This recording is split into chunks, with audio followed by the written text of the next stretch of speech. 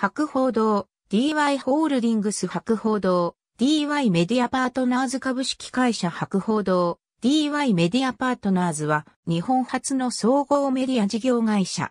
2003年10月に白報堂、大広、読売広告社のメディア部門を分割移転して設立された。白報堂、DY グループを構成する3社をつなぐハブ機能を持つ。メディアバイイング業務を請け負うほか、映画、アニメーション作品への出資も多数行っていることでも知られる。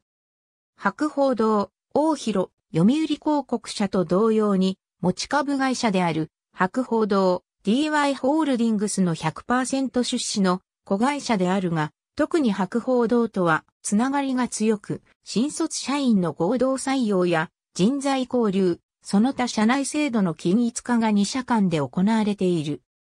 2007年5月1日には東芝から映画の制作、配給、海外映画、海外ドラマの買い付け、アニメーション作品の制作、出資、ビデオ DVD ソフトの制作、発売、権利保有映像作品の放映権販売等を手掛ける東芝エンタテインメントの全株式を取得し、参加に収めた。2008年3月10日、赤坂サカス内赤坂ウィズタワーに本社を移転した。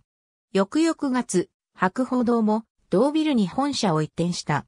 2018年7月17日、麻雀プロリーグ、M リーグに参加表明。赤坂ドリブンズをスポンサードする。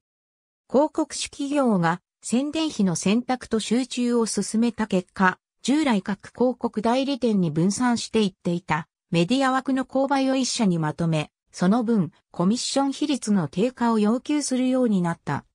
こうしたセントラルバイング方式を取る広告主の増加に伴い、メディアに強い電通への媒体購買一極集中が起こるようになった。